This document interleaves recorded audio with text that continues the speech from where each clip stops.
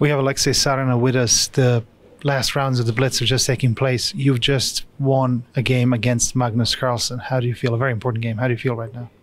Yeah, it's great. Uh, I it, and it is was a very very nice game from me. I think I played really well and.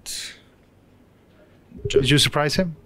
I think in the opening I surprised him, and opening brings me a huge advantage, and and big initiative and more time. Yeah.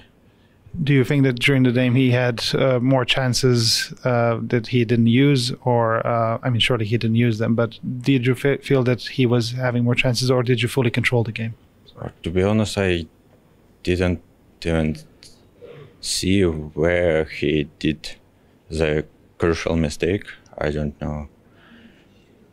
So I think that maybe Queen 8 take A2 was the last mistake.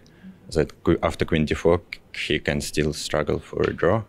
Maybe it's it's playable, but after Queen A2, Rook B7, Queen A3, suddenly after Queen A3, Rook A1, Bishop trapped, and it should be just winning easily. There are two more rounds to play in the in the Open. Um, you're obviously very excited. How how are you balancing emotions right now? I don't know. It's, it's, it's very hard because yesterday was terrible day. I was on minus two, but then come back somehow on plus two, and today almost won every game. I don't know. We'll see. Hope we'll play the same level. Okay, we'll leave you to prepare for the next game. Thank you so much and good luck. Thank you.